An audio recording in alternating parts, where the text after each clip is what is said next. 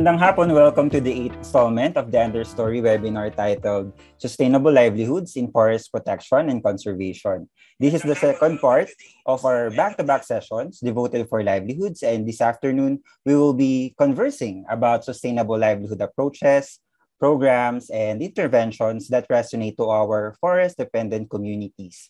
And for the day, uh, we will be sharing the importance of sustainable livelihoods in ensuring sustainable forest resource management.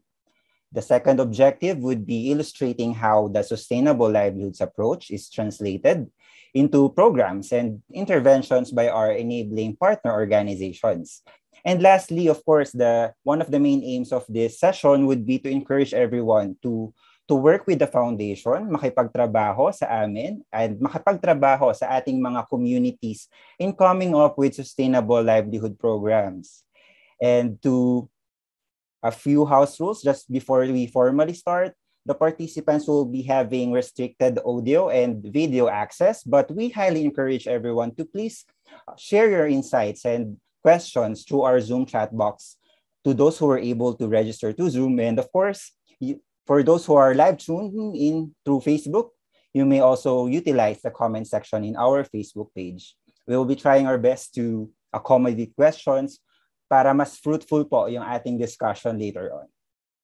So to provide you a brief overview about the foundation, Forest Foundation Philippines is a non-profit organization na nabuo through two bilateral agreements ng uh, governments ng US and ng Philippines. And through that, we were able to fund grants to organizations, to groups, and sometimes individuals to empower uh, people to protect and conserve the forest. And of course, bounded by our results framework from 2017 to 2021, we focus our support to our four main outcomes. So we have grow forests. This would mean the enhancement of forest ecosystems as prime resource of products and services. Then this is supported by the second outcome, which is grow livelihoods. When we say grow livelihoods, this aims to support um, viable, sustainable income options and livelihood options for forest-dependent communities in line or aligned with the forest conservation objective. The third one would be grow partnerships. This would pertain to strengthening our partners or our organizations and institutions that we work with. And of course, the last but not the least is Grow Advocates, which focuses on enhanced knowledge management and advocacy.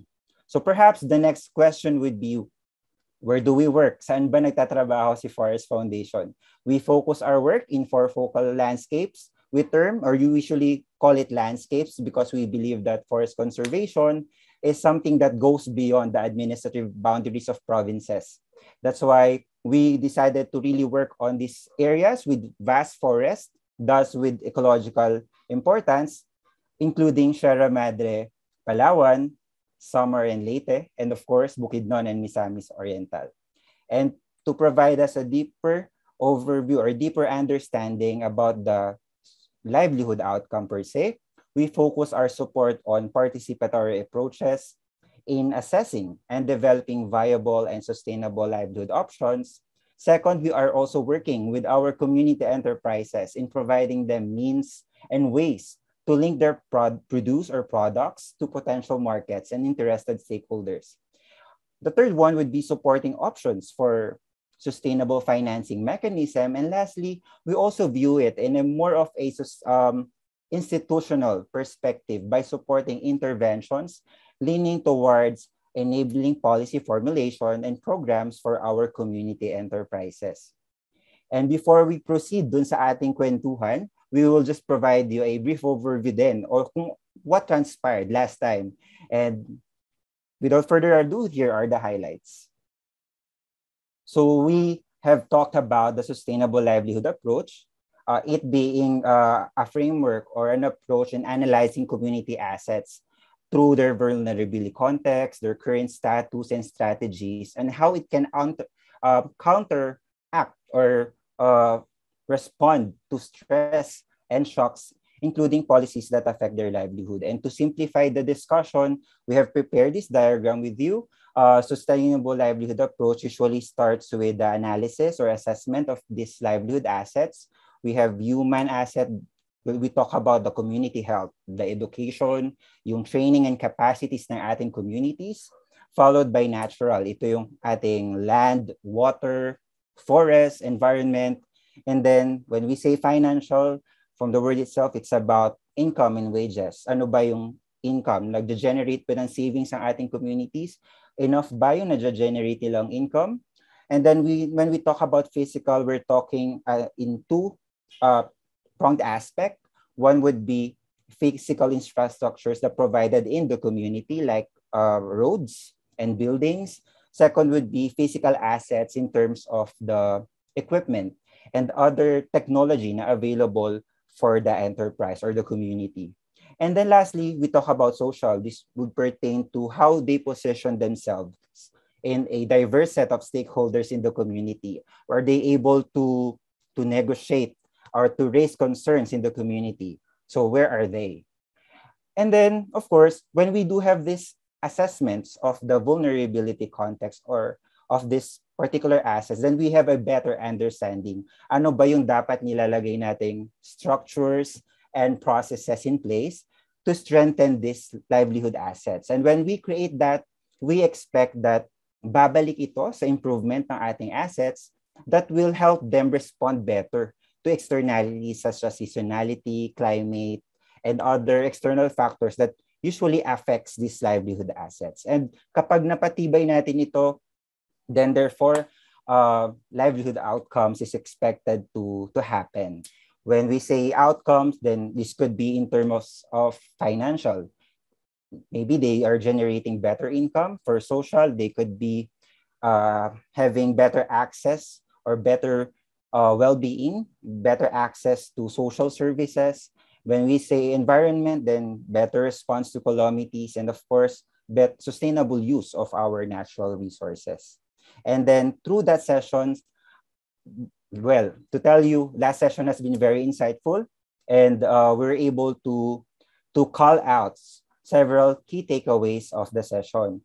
They are they, we have five bullets, pero kung makikita natin, may dalawang main themes na makikita, which is the first one, the particularly the first two bullets would be pertaining to conservation and socio-economic balance.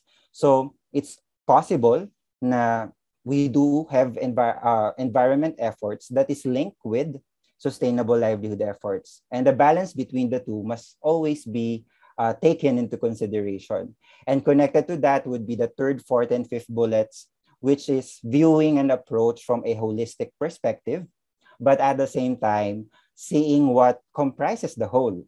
Ano ba yung bumubuo dito? May iba't ibang stakeholders, may iba't ibang sectors na dapat nagko-collaborate nagpa-participate for them to to develop not only the livelihood itself but of course develop the community and from there we are proceeding sa ating kwentuhan kumbaga um, that's only the introduction and now proceeding na tayo sa ating um, much awaited main uh, focus for the day which is the discussions, ang, ang pagkukwento tungkol sa karanasan ng mga komunidad natin and paano tayo um, nakakapagtrabaho sa kanila.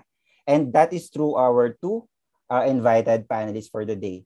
So the first, he is currently the field coordinator of Philippine Coffee Alliance Incorporated um, in our project titled Empowering Coffee Value Chains of Forest Communities via Community-Based Social Enterprise.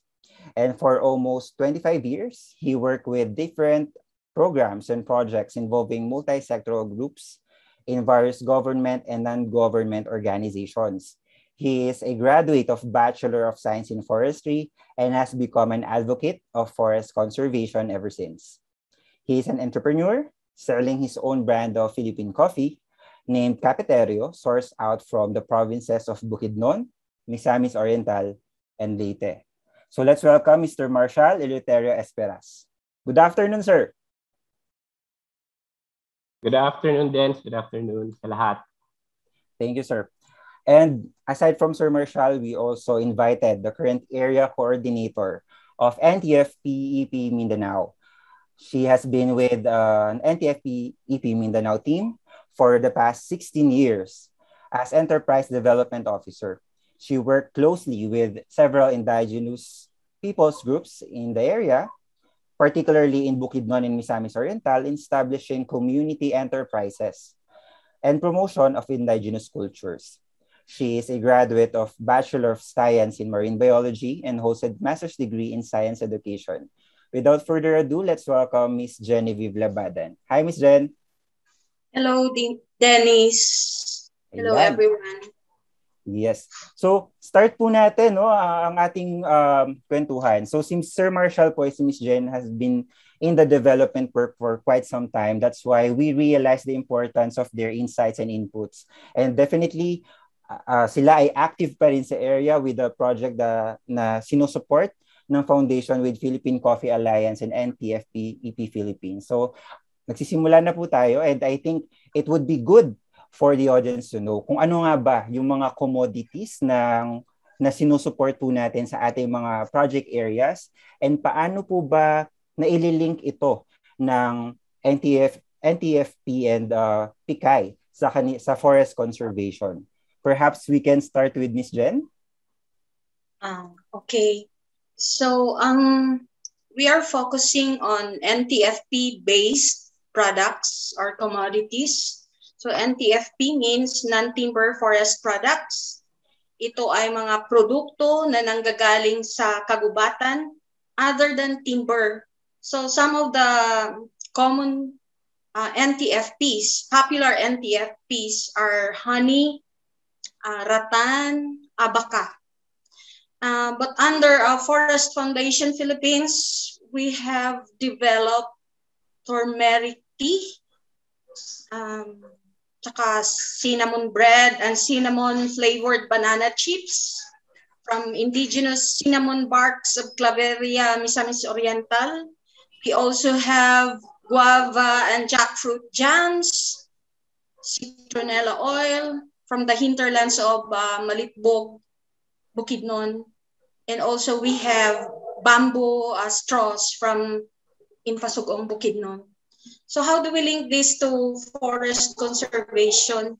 Uh, we, will, we believe that um, by developing NTFP-based commodities, uh, we believe that we are winning the indigenous peoples and local communities from destructive activities Tapos, tinitrain namin sila to pursue non-destructive or less destructive livelihoods. So, in itself, yun na yung pinaka-incentive, yung livelihood to protect and restore the forests. I see, Miss Jen. I think napaka yung titingnan natin kung paano siya magko-compare with Sir Marshall no pero so far may mga bits of information na ako na gustong i-highlight kasi I think that's very important. Sir Marshall, how about you po? Ah, uh, sa Philippine Coffee Alliance kasi ang nangyari uh, del kape. Siyempre kape yung main commodity ng ng uh, ng Pikay. Ang sa amin is paano namin dadalhin, paano namin magagamit ang kape uh, patungo doon sa usapin ng forest conservation. So ginamit namin na yung kape ay maging bihikulo to drive and increase the forest cover. Maliban dun sa increase ng forest cover, uh, tinitingnan din namin yung aspeto ng uh, water management. Tingnan natin ano yung ano yung kayang mai-contribute ng isang kape. At kung yung kape ay nasa isang farm areas, gaano karami ng tubig ang kaya niyang i-retain uh, na pwedeng hindi po yun bumaba hanggang sa kanayunan. Uh, aside from that, uh, syempre yung, yung water na magkukos ng soil erosion, uh, enrichment, kailangan namin, yung enrichment ng soil fertility, ma-maintain para doon. Uh, aside from that siguro, uh, yung insect habitat, yung mga good insects na pwedeng makatulong hindi lang sa kape kundi kung ano pa yung nakapalibot niya doon at saka yung natural habitat. Uh, marami at uh, may mga appreciation na galing sa iba't ibang lugar na kilala kung na kung maalala lang natin at alam yung tinatawag na civet coffee isa din po yon na nakakatulong yung CIVET. Uh, kumbaga, uh, yung value added ng kape. Uh, to sustain kasi ng project ng Forest uh, uh, ng Pikay at saka ng Forest Foundation, may mga tatlong aspeto kasi kaming uh, ini, ini sinama doon sa usapin ng program implementation. Siyempre yun, nandyan na yung intercropping, uh, crop rotation, at saka yung, yung salt program na yun yung pwedeng makatulong doon sa kabuuhan ng forest conservation. Yung mga naumpisahan na areas ng uh, ng Pikay sa mga supporting communities, hindi nasa ano na po yun, yung halos yung iba open na po. So kinonvert namin into a uh, ano, uh, productive one na merong meron silang mga gulay, merong kape at inintroduce namin yung kahalagahan ng mga puno doon sa usapin ng habitat ng mga coffee planted areas. So yon. Yung critical kasi dito sa sa program ng Pikay ay uh, una yung farm management. Uh, yung yung pangangalaga ng kabuhan, nandiyan na yung syempre nandiyan na yung yung salt, yung intercropping, yung uh, crop rotation, yung pangangalagahan din yung yung tree na napuno ng kape for us to sustain, hindi lang yung bagong tinanim, kundi kasama na doon yung nandyan, yung existing. At syempre, yung pest and disease. Kaya kung makikita natin doon sa mga sa slides na na, na no, nandyan, ito po yung sinama at practice na po ng ating mga cooperators dito sa Bukid, Bukidno ng Misamis Oriental. Talagang nag-umpisa kami mula doon sa seedling production hanggang ngayon. So, an, ito na, yan na po yung mga itsura na for, for almost three years, uh, nandyan na kami sa level na yan, nasa production stage na po, uh, fruiting, ano, uh, flowering stage ng coffee. Thank you, Sir Marshall. Alam niyo po, uh, based from your two answers, no, ang isang nakikita ko na medyo consistent between the two, two projects would be uh, the integrated approach in terms of uh, identifying what is there in terms of resources. Kasi magbibigay tayo ng livelihood or mag provide mag improve tayo through our interventions. Pero dapat this is something that is familiar to them. Then second would be this is something that is aligned to their culture. Kasi syempre ang ating mga kasama sa bukid na ni Misamis Oriental, most of them are indigenous peoples. And alam natin na sobra ang pagpapahalaga nila in terms of culture. That's why it's really uh, it pays to really consider these aspects in terms of coming up with your programs. And nakakatuwa, yung kay Sir Marshall kasi sobrang into coffee pero nahimay niya ano ba yung practices na meron sa community na dapat ma-improve and ma-align doon sa practices that is sustainable. And then kay Miss Jen naman, na-mention niya na may iba't ibang products sa community. So pwedeng iba-ibang community sila, akakalain natin na same area, pero may iba't ibang products pa sila of interest or products of focus na dapat yun yung naho-hone for them to bank on kasi yun yung alam nila and yun yung somehow integrated sa ating forest conservation um, initiatives kumbaga. So I think that is a good way to start. Yung next question po kasi natin would be ano ba yung given na ito yung products uh, ano ba yung mga strategies natin or approaches natin para ma-assess yung potential na livelihood related opportunities or yung pag-scan natin ng opportunities na related sa livelihood pagdating sa ating mga communities. Siguro start natin kay Sir Marshall. Yun, then, so magandang ano yan, yung strategies and approaches. Uh, sa Pikay kasi ang ginamit namin talaga, uh, tinanggal namin yung usapin ng training uh, nadadalhin mo yung magsasaka sa isang four corners, tuturuan mo doon. Hindi ganoon ka appreciative yung ano eh, yung mga yung mga cooperator, yung farmers natin lalong-lalo na sa upland. Pero kung ano yung nakikita nila, yun ang iisipin nila, tatandaan nila. So, from the start talaga nagano kami ng ano, na naghanap kami ng mga coffee expert na binuo namin as uh, full uh, coffee doctors na may mga kanya-kanyang mga ano, kanya-kanyang mga expertise and technologies. Ngayon, yung expertise and technologies nila, binuo namin, ginawa namin sa isang module. At yung isang module na yun, yun ang inadapt ng 14 communities using the ano, uh, eight coffee doctors. So may mga areas of concern sila. So yung guidance nila ay from ano talaga from uh, yung pagpupunla ng kape mula buto hanggang seedlings hanggang farm maintenance. So yung makikita natin kanina sa slides, yung farm maintenance hanggang tree management hanggang kung ano ang kayang pwedeng input at ituro sa mga magsasaka lalong-lalo na sa ating mga lumad uh, na masyadong na-appreciate nila dahil kumbaga ginaguide talaga sila. Sa kasamaang palad lang po, after two years talaga nakikita namin paano yung sustainability.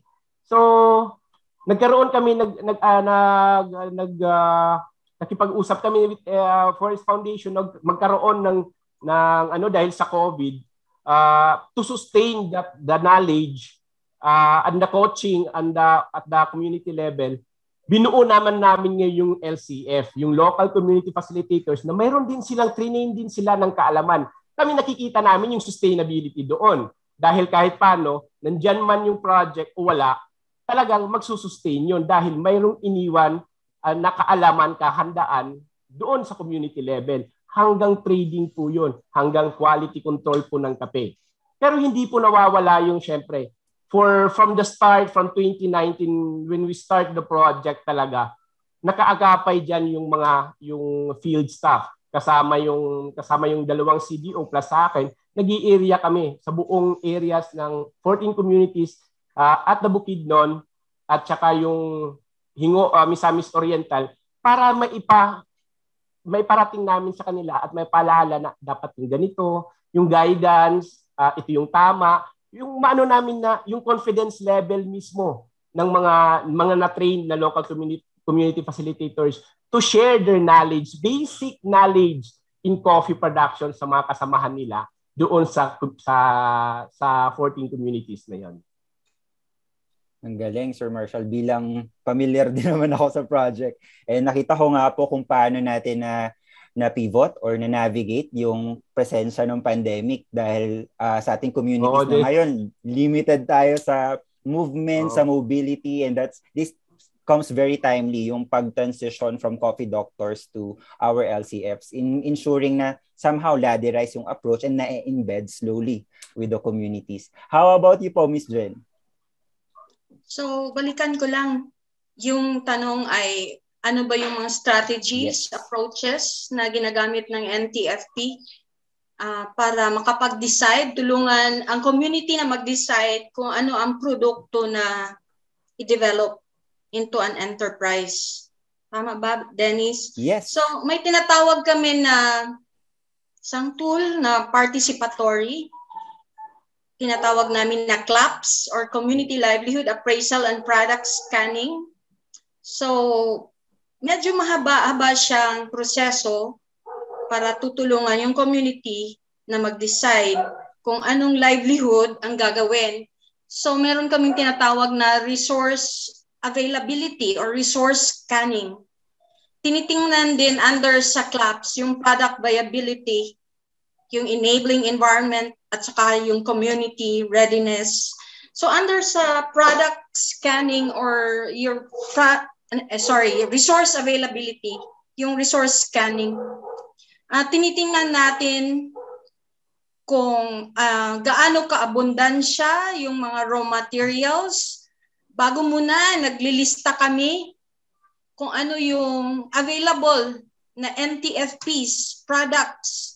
May it be medicinal, food, uh, ano ba yan, dyes, ang dami for handicrafts na mga NTFPs. Pinapalista namin yan sa communities at saka tinitingnan, ina-assess kung gaano ka-abundant, uh, gaano ba kahirap o kadali ang pag-harvest nito, uh, ano ba ang distansya ng mga resources na to from the community, gaano kalayo kalapit, kasi makakaapekto yan sa production later on.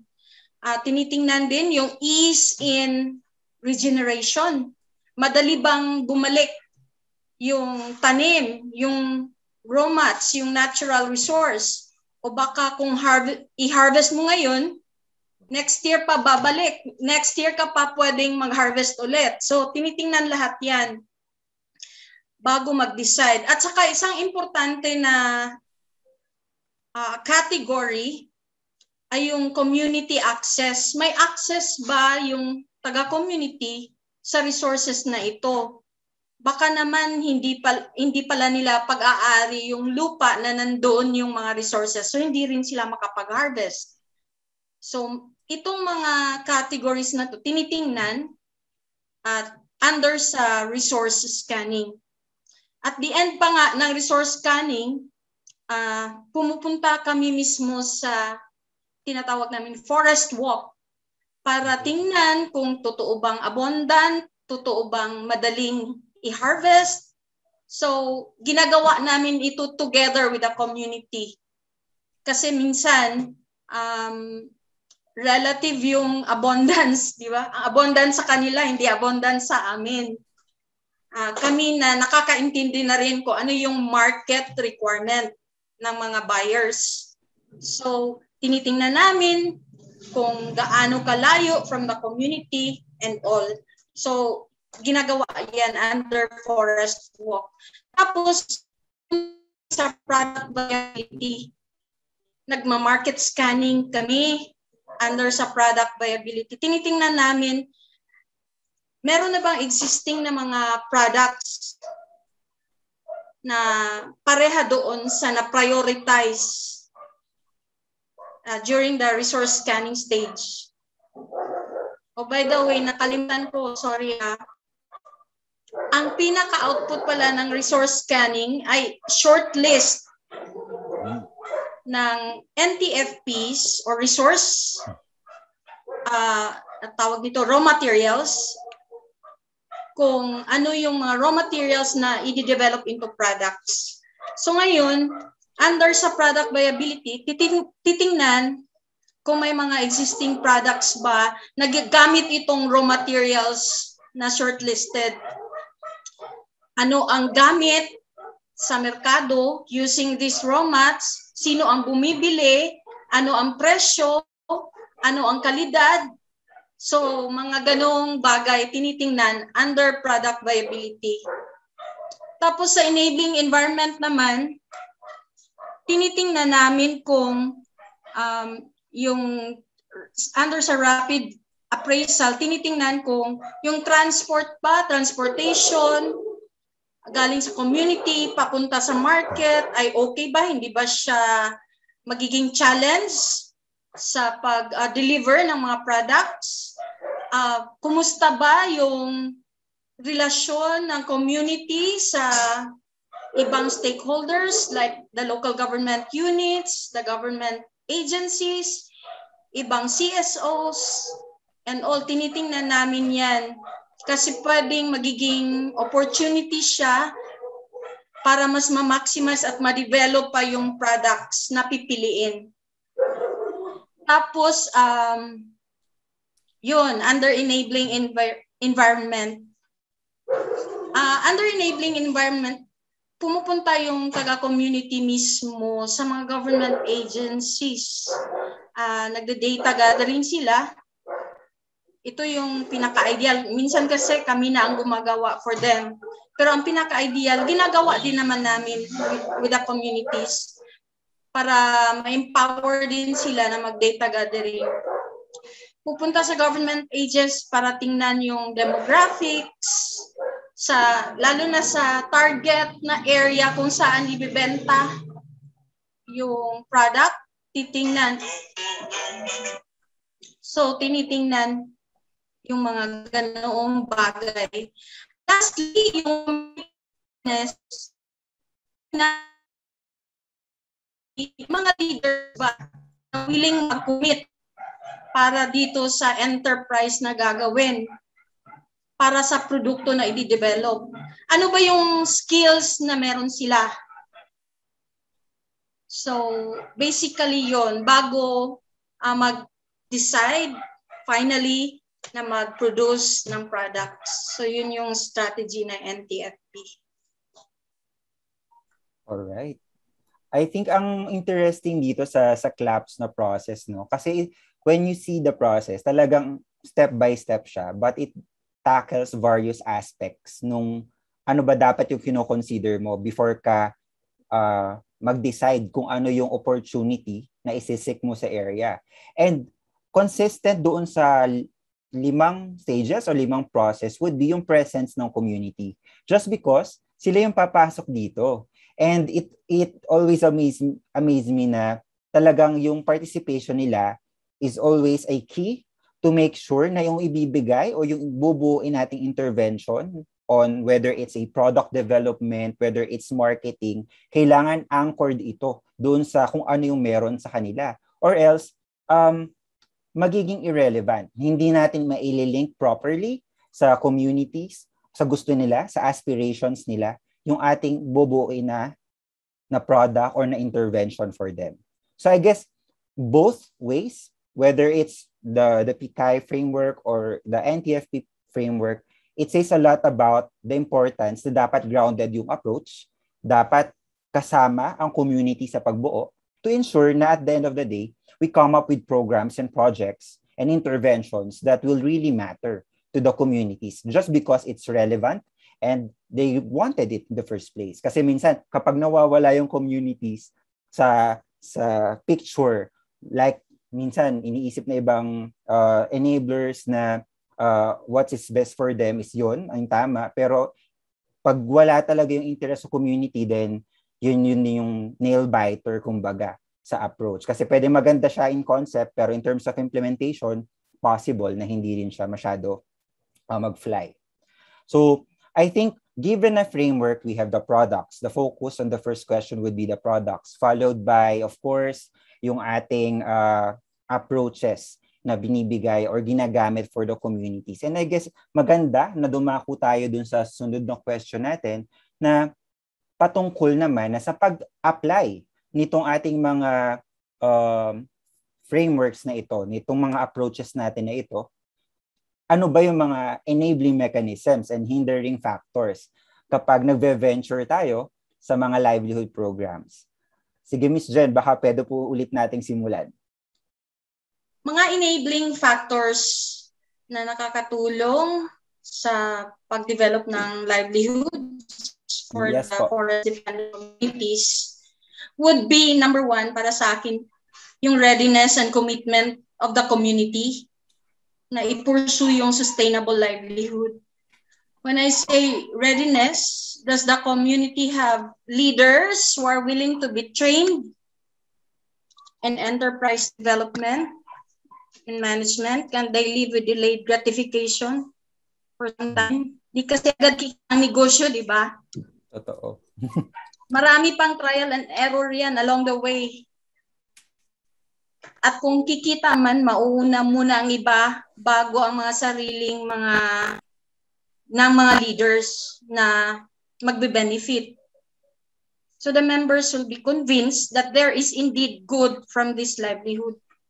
So Pangalawa siguro na nakakatulong yung collab- collaboration with government agency na hindi talaga pwedeng tayo-tayo lang gumagawa on the ground.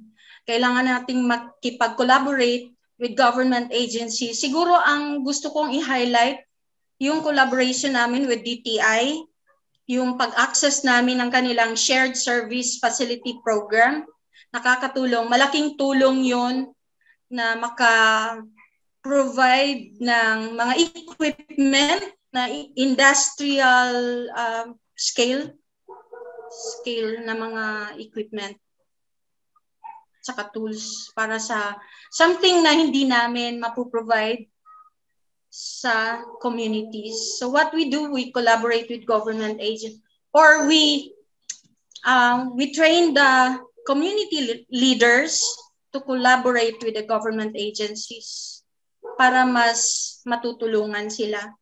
Siguro pangatlo din yung partnership with other stakeholders. Kasi kami hindi namin alam lahat. Hindi naman namin kiniklaim na alam namin lahat.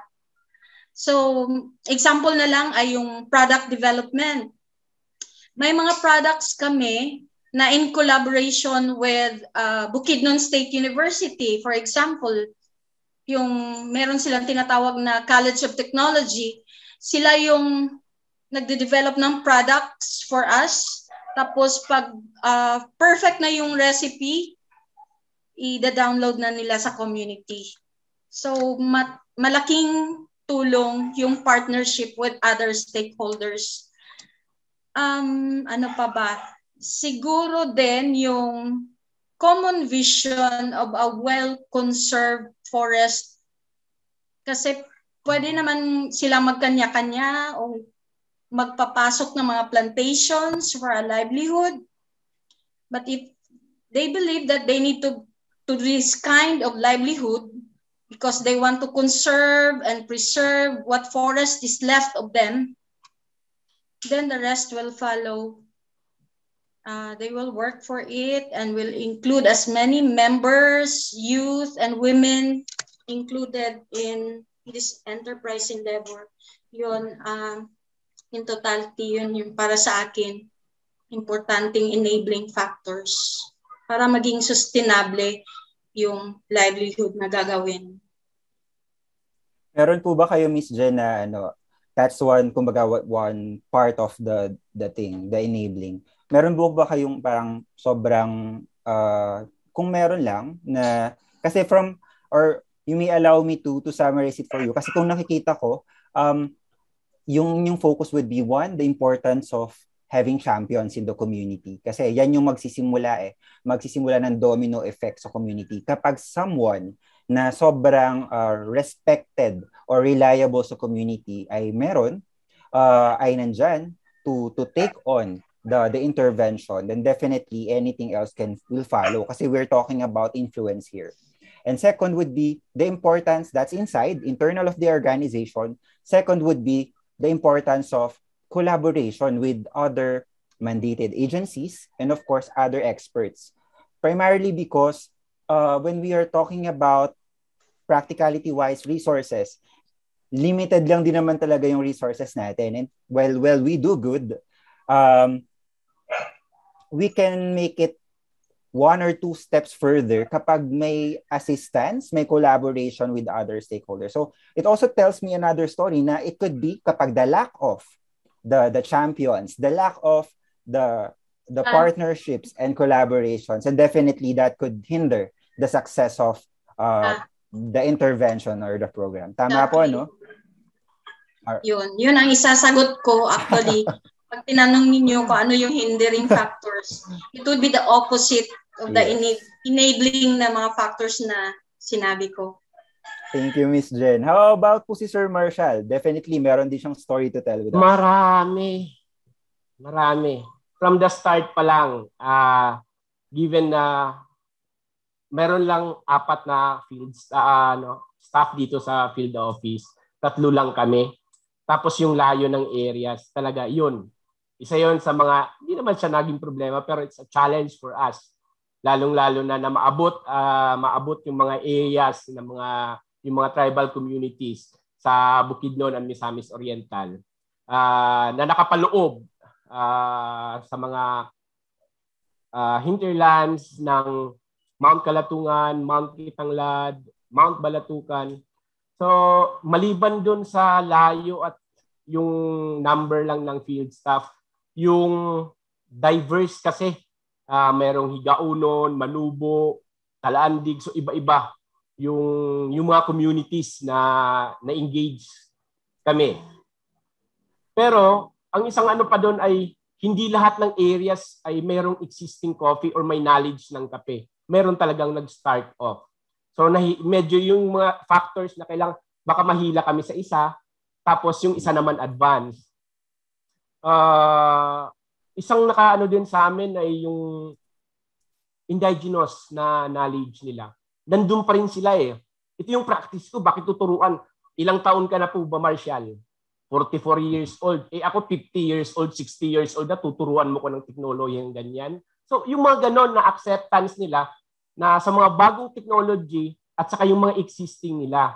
Pero dahan-dahan namin na na-overcome yon at uh, kahit paano nakita namin na hindi po kami nagkaroon ng programa ibibigay sa kanila, uh, makikipag-partner sa kanila na hopelessly romantic na walang patutunguhan ang uumpisahan natin ngayong 2019.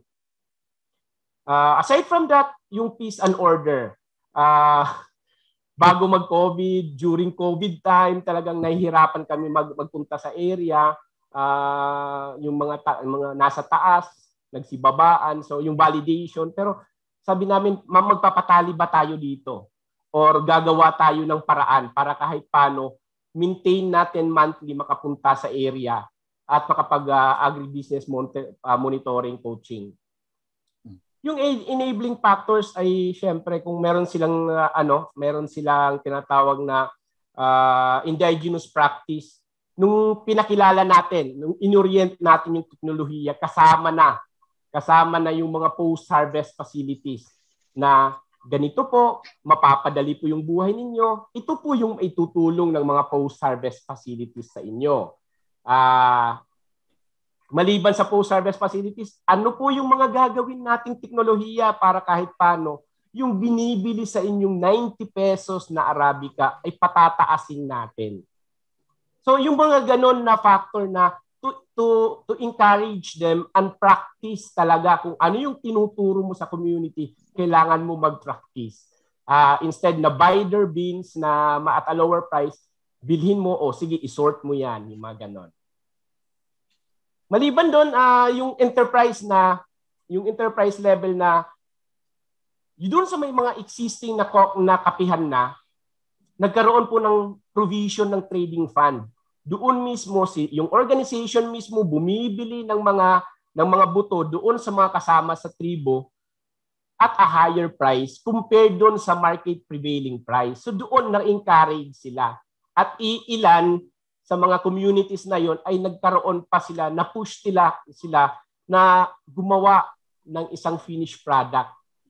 So wala man ito sa deliverables namin pero nakita namin makikita namin yung yung sukat ng engagement namin dahil na, na pinakita din nila yung suporta nila na mabuo yung isang produktong pangalan ng kanilang uh, ng mga community, yung mga community tribes. Maliban lang doon, uh, nung nakita na nila na may, may mga provision ng post-harvest facilities, may provision ng farm tools, uh, naka-tailor fit yung mga yung mga equipments, may trading fund, tapos mayroon pang finished product, sila na mismo yung kusa na bumibili at nagkakaroon na proproseso ng seedling. So, yung expansion part ay gawa na nila. Counterpart na nila dahil kumikita sila sa kape. Yun yung nakikita naming mga ano na kung hindi namin medyo may konting push, may konting uh, ano sa kanila encourage na uh, yung value added ng kape mula ganitong presyo at the end ito na po yung presyo niya pag prinoseso po natin natin at nandiyan din yung pangalan ng tribo. So pasalamat din kami na uh, within within the areas of concern, hindi lang po yung pikay yung nandun. Uh, buti na lang nandyan yung FFP partners like Xavier Science Foundation who introduced us Samdana, uh, Kitanglad Guards, uh, itong Milalitra. So pinakilala kami sa mga communities. Tapos at after that, it's our own to engage.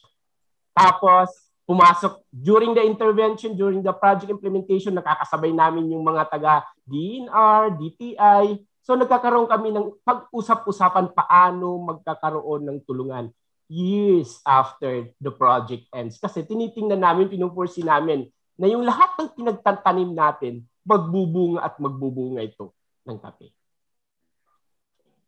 Maganda po, no, Sir Marshall, kasi nagsimula siya on the practical side na kapag mag, pag mayroon kaming project o kapag mayroon kaming intervention, ano ba yung typical hindrance area? So it could be weather, it could be security, uh, it could be simple as distance pero sobrang laki ng impact sa pag-monitor, sa pag uh, engage ng communities. Definitely for Philippine Coffee Alliance kasi they are supporting around 14 communities na naka disperse yan, both Bukidnon and Misamis Oriental. And even with NTFP, hindi naman, hindi sasabihin na nasa Himangkil Kalanawan na area, eh magkakatabi ang mga yan, magkakahalayo po yan. So, very le- relevant din yung na-share ni Sir Marshall. And while he started on the practical side of things in terms of uh, hindering or enabling certain interventions to happen, then he decided to also dive in dun sa importance of culture, of course. Kasi you would understand na these IP communities are not homogeneous eh. Iba-iba pa rin sila. So iba-iba yung capacities nila, iba-iba pa rin yung mga interest nila in terms of kung ano ba yung gusto nilang uh, ina-aspire nila na livelihood to have. So definitely it pays to really know them, to really have an established working relationship with these IP communities. Primarily because at the end of the day, you want them to to really absorb these things. Na even kung matapos yung project, you want them to at least uh, andun yung initiative for them to continue. And at the same time, hindi lang basta-basta yung initiative to continue, but of course, nabigay natin yung mga basic talaga na pangangailangan nila in terms of securing or making sure the the livelihood intervention stays viable. So, that is one definitely good uh, insight then from Sir Marshall. And kung titingnan natin, na-highlight dito sa question na to yung importance of collaboration not only within our network kasi uh, Forest Foundation Philippines have various partners din sa area and maganda rin po na na-raise ni Ms. Jen a while ago yung differences in terms of expertise and dapat nagko-complement itong mga expertise na ito on initiatives beyond projects. Kasi may kanya-kanya silang projects but we see the window na andyan na kayo. Magkakasama tayong lahat dito. So definitely baka kung merong mga collaboration independent of our projects or the grants, then therefore it would be good to to explore these projects. And aside from the, our network, it's also good to expand kasi definitely we we do good but uh, we can expand further we can make change uh, faster or wider or have a, a better or meaningful na intervention kapag iba't ibang stakeholders din talaga and sectors yung nasa area. And it's good to see na talagang it's two sides of the coin. While may mga enabling factors, a lack of that would definitely be a hindrance kasi mga key elements po ito ng development work. And perhaps baka nga while we are discussing na answer na natin yung ibang questions na ng ating audiences in terms of an, ano ba, what is it for us, what is it for them, and then why are we doing it in the first place. So I think to to end on a high note uh, in this particular set of ano of questions no. So bilang two of those who are really in the area or have been working in the development sector for quite some time now, uh, given your experience, talagang nakatrabaho niya yung communities eh. And it would be good to know ano ba yung inyong mga aspirations for them in terms of uh, your support, in relation to your support, and in, in terms of foresighting what lies ahead. Uh, Sir Marshall, baka pwede po natin Ayun, simulan. Uh, magandang tanong din yan. Uh, sa amin kasi, nagbabangkon pa rin kami dun sa framework ng kapitbuhay. Kapitbuhay is uh, is a coffee and life. Uh, kung sa buong engagement sa sa coffee, it's production and processing aspect. So, kung titingnan natin yung framework, it's from the forest areas with engaging coffee producers, coffee trees, meron kang provision po ng mga post-harvest facilities uh, to come up with a quality of GCB and uh, i-link sila doon sa value added na i-roast talaga yung kape at naiinom sa kanila at yun yung i-distribute ngayon. Nandun pa rin, hindi pa rin kami. Hindi nahihiwalay yung Philippine Coffee Alliance sa framework na yan. Nakabank on at nakabank on kami. Kaya with that, yung naging resulta kasi ng ano, ng 3 years, ng almost 3 years, uh, nag-start kami with ano, uh, equally 10 hectares target, uh, 10,000 uh, seedlings planted, So ngayon ang nag-survive ay nasa 121 kung hindi ako nagkakamali eh. So mataas-taas na rin yung ayun oh, oh mataas-taas na rin yun. Both for Arabica and Liberica. Hindi po kami ang nag-decide. Hindi po kami ang nag-decide kung ano yung itatanim. Tinitingnan namin base doon sa elevation, land suitability. Yung elevation land suitability dictates doon kung ano yung variety na itatanim natin. Tapos other than that, it will follow. So, Arabica and Liberica, tiningnan namin yung value added marketable. Uh, so, yung two varieties na yan, yun yung mataas yung, when it comes to economic. So, yun yung uh, tawag nito, inimple, uh, sinama namin na varieties na natinanim sa 14 communities within the BMO landscape. At ayan na po yung yung uh, output sa ngayon. So out of 121 coffee seedlings, iba't iba po yung kanyang status ngayon eh. May nasa vegetative pa siya. Uh, vegetative dahil tinamaan siya ng drought, sobrang ulan naman so nagre-recover siya. Pero makikita natin yung flowering and fruit bear. Ito na po yung masarap. Kasi kahit paano nagbunga po yung pinaghirapan ng pikay through the funding of uh, Forest Foundation. So fino-foresee namin siya in 2 in 2 to 3 uh, to 3 to 5 years after after this year uh, meron kaming 15 tons from the community. After 5 to 7 years, we have 45 tons. And that 45 tons, malaki na po yun. Kasi to start off, para doon sa community-based coffee enterprise, kailangan lang ng natin ng 1.5 tons para i-sustain yung supply for the entire year. At uh, tinitingnan din namin for the 45 uh, 45,000 tons, it's the contribution of Pikay and FFP to the coffee industry. So, yun. Ang ano lang namin ay sana uh, dahil sa ganitong ganito kalaki yung production na inaasahan namin given yung status hindi uh, andyan yung status vegetative flowering fruit bear uh, yung varieties tapos yung number of kilos so tinitingnan namin ano pa ang pwede na maibigay uh, hindi kami yung magdidikta, hindi rin kami magbibigay ng mga equipments na mas malaki at pangmalakihan, kundi ito po ay naka-tailor fit. So nakapagbigay na po ng dehaler, depalper, uh, sa ngayon, access nila doon sa yung mga communities with branding, meron silang access. Kami, uh, dinadala ng staff from the area down to Maramag para tulutuin namin yung kapitas, ibabalik namin ulit sa kanila. So medyo konting sakripisyo lang para kahit paano ma-realize na nandun yung pikay for them. Uh, kung titingnan din natin kanina base sa uh, production na tinatarget namin, so mangangailangan talaga sila 45,000 tons tapos kailangan mo ng quality of beans, kailangan mo talaga ng elevated dryer. If you if, if you want to have a quality of, of GCB. At the same time, based on the experience we had with ano with, with the mangyan, dito laging tinatalo si farmer eh uh, maliit lang siya na ano na aparatos pero malaking bagay yung yung discrepancy niya pagbasa at hindi nila alam yung yung yung moisture content ng kanilang kape. Malaking kabawasan po 'yon sa presyo pagdating sa trading. Kasi yung traders yung magproproseso to redry eh. So 'yun.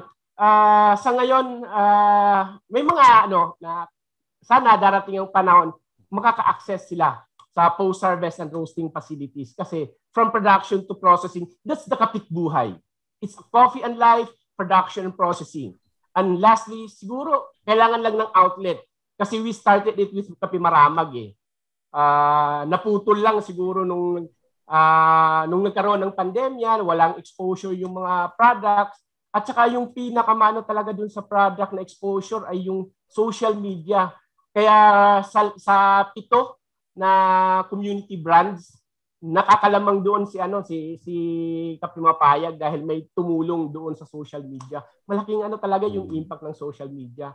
Pero yung meron din silang outlet, uh, inaasahan din naman namin na in, in the later part magkakaroon eh. Uh, andyan, andyan si DTI. Yung hopefully yung season 2 or phase 2 of this project will in will focus on the processing aspect. So, yung branding, kung makikita natin yung branding kanina, hindi pa maganda. Pero sabi namin, matututo tayo sa karanasan. Isa-isa lang, lalaban tayo. Thank you, sir. Maganda po yung insights. How about Miss Jen? Uh, naka-mute po ata kayo, Miss Jen.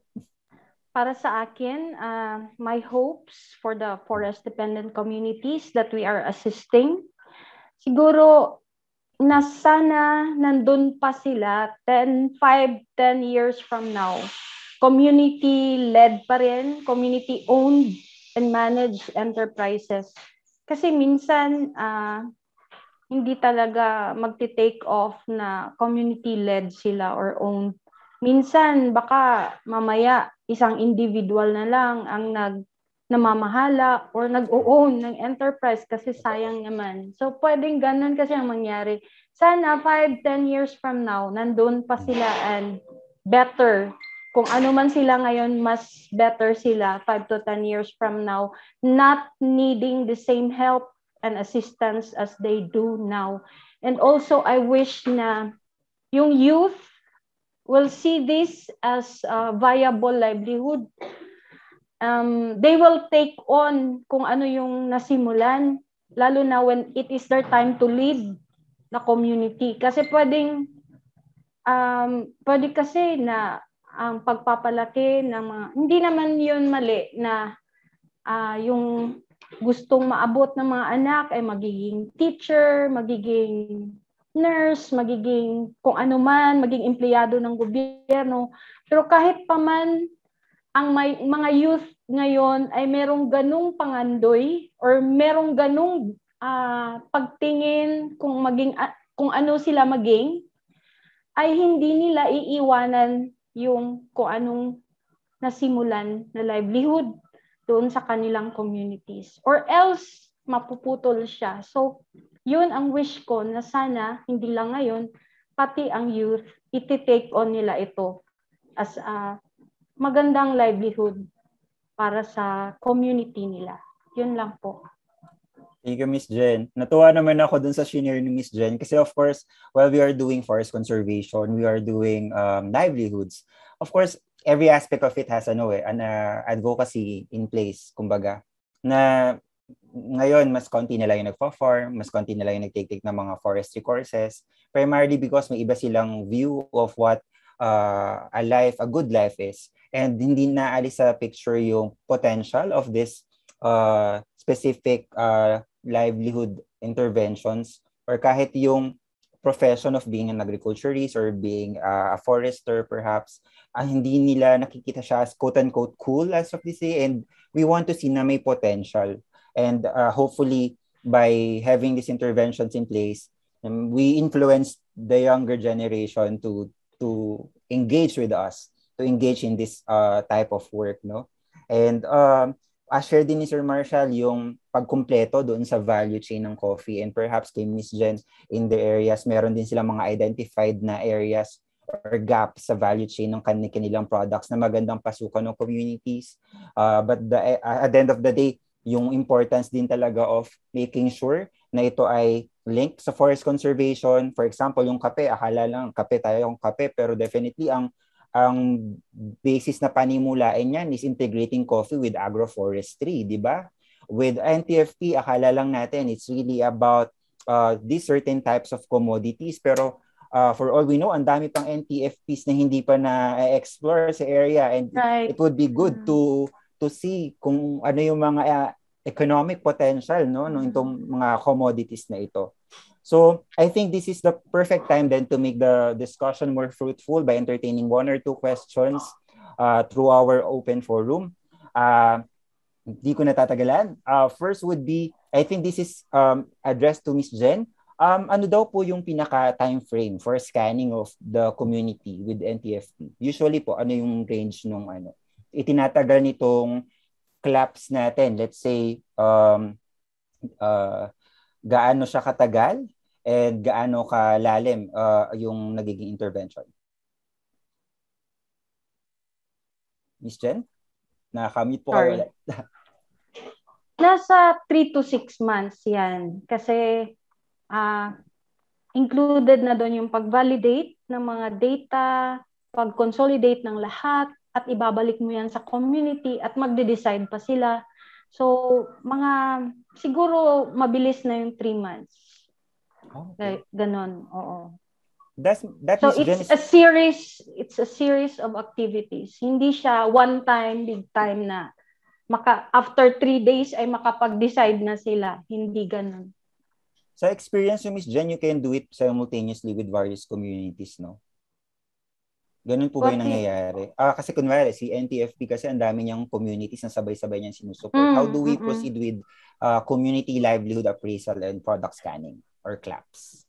Uh, ang una namin, ang style namin dyan ay uh, ginagather namin iba't ibang communities para sa orientation ng CLAPS. Ginagawa namin in one venue pero after the siguro one week, halos ganun yung orientation training workshops namin, ay babalik sila sa community, i-validate yun with the other community members. Um, medyo mahaba talaga. So, merong mga activities and workshops na nandun kami sa isang venue at meron ding part na babalik sila at i-validate yon and all. Nasagot ko ba? I think uh, that uh, pretty much summarizes it na talagang minsan magde-depend sa community. Eh. Lalo na kung interactive and simultaneous everything. Uh, but I think maganda yung na-provide natin a range of timeline, kumbaga, to, to more or less follow as guidance for the claps or the scanning po natin. Sige, last question po. Uh, I think this could be answered either by Sir Marshall and Ms. Jen. Um, how your organization maintain the quality of products? Given nga po yung continuous natin na engagement na kailangan right there and then naka-engage sila, hindi nawawala yung commitment. So paano po natin na maintain yung quality ng ating products? Uh, on the part ng Philippine Coffee Alliance, maganda yung nagkaroon kami ng twist eh na from the coffee doctors. Yung coffee doctors kasi namin ay ano din siya, diverse din siya. Magkakaiba yung mga technology, technology at the same time engagement, merong nasa production, ay merong nasa processing. Na yun yung na-share namin sa mga LCF. For us to sustain that, nandun kami, nakagab, naka, nakagabay pa rin kami doon sa mga LCF namin hanggang sa quality, uh, hindi lang ng tanim, hanggang sa quality ng, ng, ng GCB kasi ini-expose din namin sila sa iba't ibang areas. Nagkakaroon din kami ng uh, kwentuhan, nagkakaroon din kami ng validation doon sa mga ginagawa nila. At saka yung mga continuous na agribusiness coaching and mentoring namin, naka ano naman kami, nakagabay naman kami sa kanila towards siguro at the end of the project. So nakikita namin na uh, malaki, malaki ang naitulong ng ng ng LCF doon sa uh, program ng PICAY and FFP. How about you, Miss Jen? Just in case may um, insights pa kayo. Para doon sa mga communities namin, uh, para doon sa mga food products, uh, syempre nandun yung tinatawag na current good and manufacturing practices. Sinisigumin na uh, yun.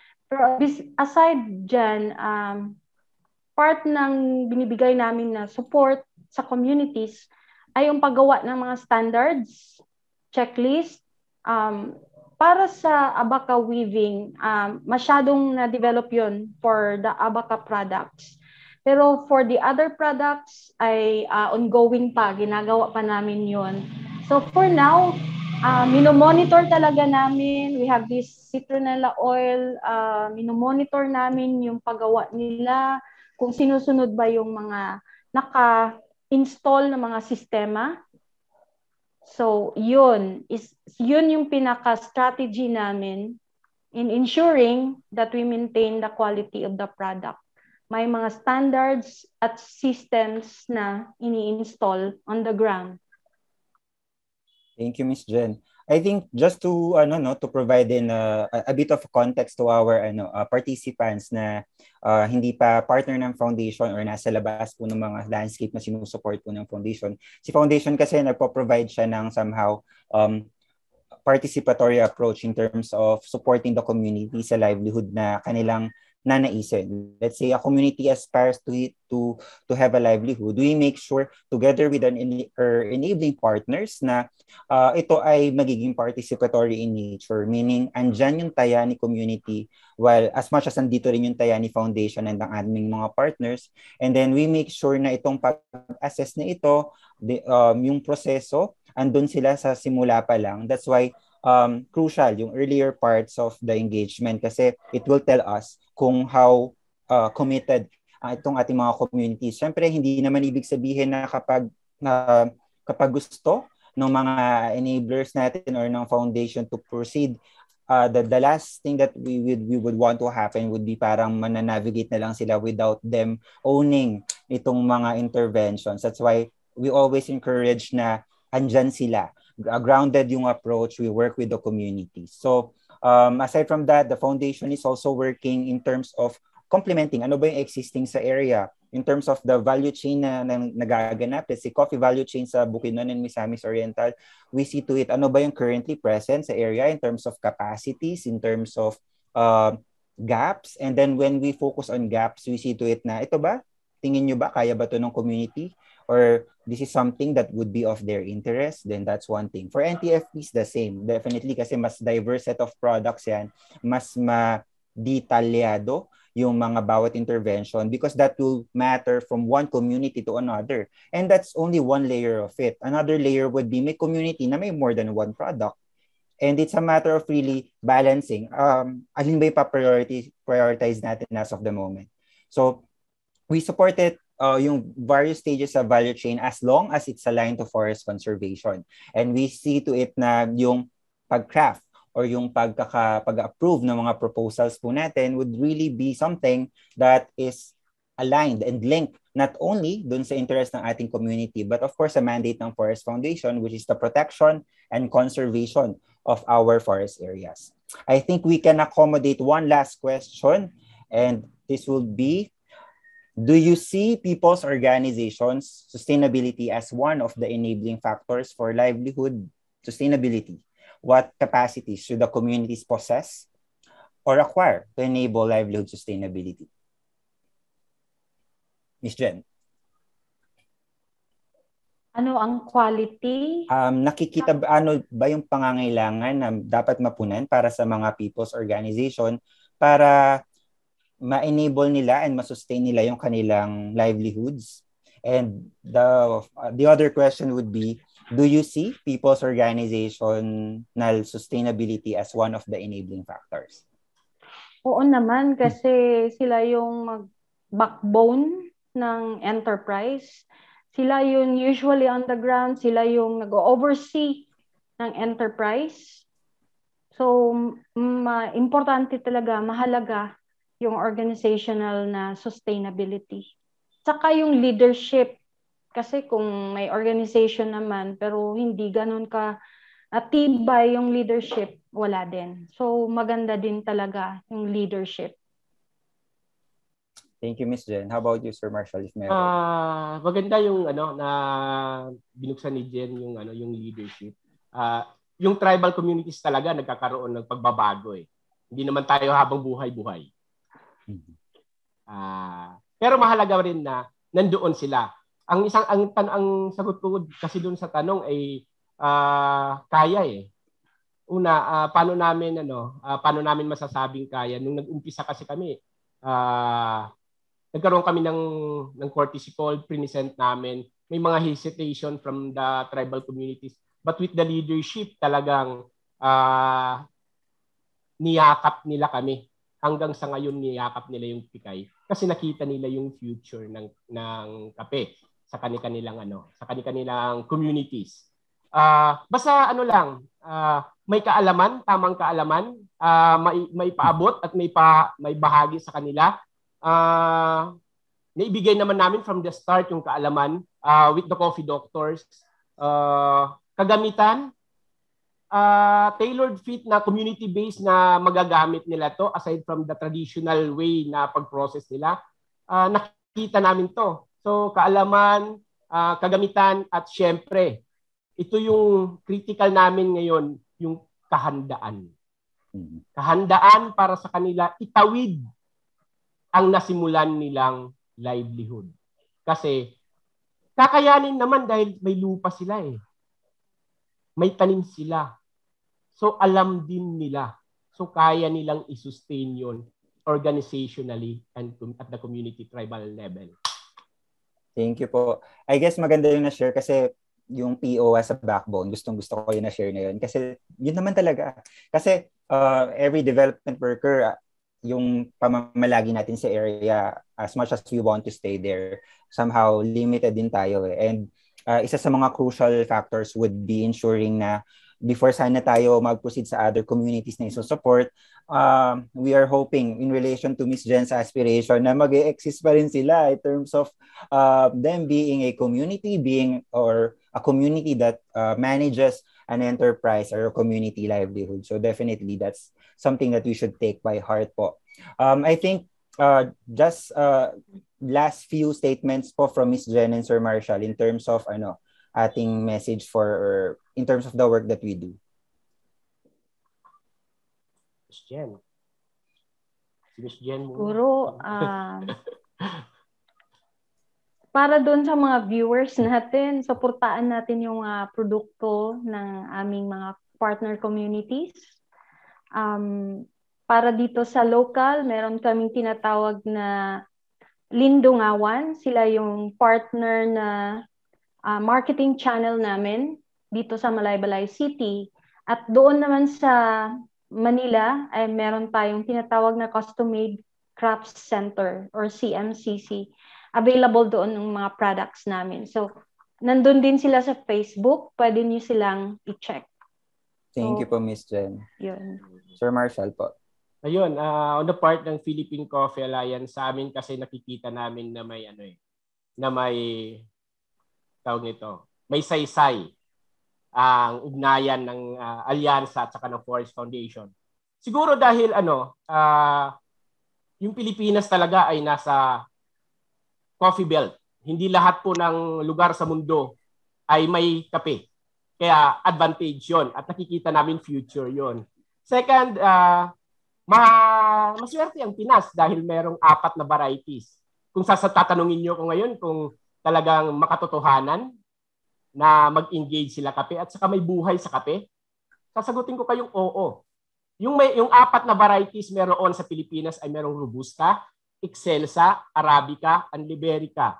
Yung first letter nun, kaya niyong makabuo ng isang word and it's real na may pera sa kape. So, Filipinos are uh, ano, are coffee drinkers. In fact, uh, kumikita yung solubles ng 40 billion a year. Kumikita yung mga coffee shops like Starbucks in 10 billion a year nasaan ang ating mga magsasaka? We have vast tract of lands. So sa mga viewers at saka sa mga ano, uh, magtulungan tayo, hindi lang siguro ipatronize natin ang kaping Pilipino, suportahan natin uh, yung industriya sa pamamagitan ng pagbibili nito. Philippine coffee is the best. And you know, malalaman natin kung ano yung mga benepisyo, mga benepisyo ng kape. So makita natin sa internet, sa mga ano naman, although yung mga generation ngayon na nag, nasa coffee shop, sa mga ano, uh, yun, try nyo na uminom ng kaping Pilipino. Thank you po. Thank you, Miss Jen. Sir Marshall, salamat po ng marami.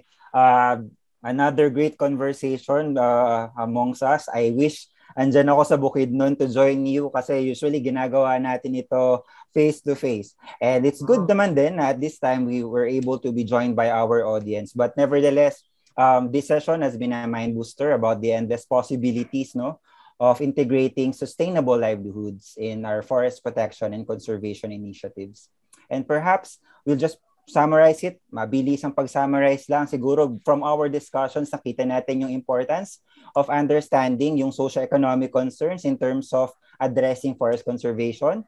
Second would be, uh, gustong-gusto ko tong part na to, yung communities are not homogeneous. Pwedeng pare-pareho silang IP pero magkakaiba po yan. And it takes to really profile them, understand them, where they are coming from, why they are behaving the way they do. Kasi doon mo malalaman. Kapag nakilala mo sila ng mas malalim, mas may bibigay mo yung pangangailangan talaga na ina-aspire nila and kakayanan or interventions na kakayanin nila as an organization. Third would be yung matching. It's not really just about the community when it comes to livelihood intervention. It's really about ano ba yung presence presence area in terms of resource. Ano ba yung enabling environment na pwedeng maghinder or mag-allow sa kanila and of course, yung market. At the end of the day, it's really about the market. Kung meron kang produkto pero kung walang bibili, may mahirap mag-survive. And then working with other sectors, ito inuulit natin na maganda ang ginagawa natin sa DevWork but definitely other enablers uh, in in the landscape mandated agencies man yan or other experts or even private sectors, maganda yung collaboration among sectors to make sure na nadadala natin, nade-develop natin ang community together with their livelihoods. And of course, isang malapit din sa puso ko na insight would be yung think long term uh, because uh, project with NTFP and PKI for instance uh, is three years for example no pero uh, akala natin mahaba na yan pero ang daming ano ang dami ang dami pang pwedeng gawin ang dami pang dapat i-improve. And in terms of making sure na masusustain ito ng communities dapat yung design and yung foresighting dapat in place talaga dapat in mind. So next. So kung sakasakali po no I, we are now talking to our audience uh, na perhaps nagkakaroon ng kuro-kuro in terms kung paano mag-apply ng grant with Forest Foundation Philippines. Ito po yung aming sinusupport, no? But uh, these are the priorities. But if you have any ideas in mind, later po ibibigay namin yung mga contact details. So first would be, uh, we're really banking on agroforestry through integrating high-value agroforestry crops and NTFP-based commodities.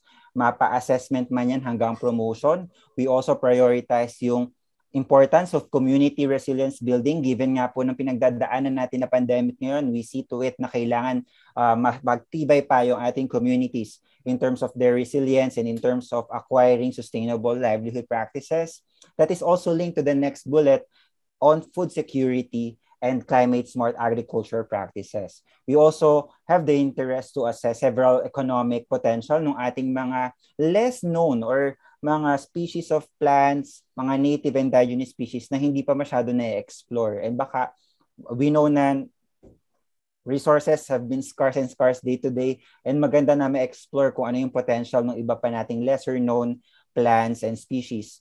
And then lastly, uh, establishment of legal and sustainable sources of plants and seed sources. May mga trend tayo mga plantito, yung plantita dyan. So, nakikita, dapat ma-ensure natin na yung sourcing nito ay legal, and yung the way na ito ay na-trade or na-ibenta ay somehow na uh, sustainable din yung ginamit na practices. So next. So to everyone, to anyone po that who would wish to apply for a grant, you may submit a, a, a small grant application using our grants portal, grants.forestfoundation.ph. And kung may mga katanungan po kayo o gusto nyo makipag-brainstorm sa amin sa mga ideas na meron kayo, then you, we may uh, entertain you by sending an email to proposals at forestfoundation.ph or pwede nyo rin pong bisitahin ang aming website www.forestfoundation.ph. And of course, uh, we value your feedback. No, uh, we've been doing understory sessions and we, we see to it na makokollect namin yung feedback ninyo about our session.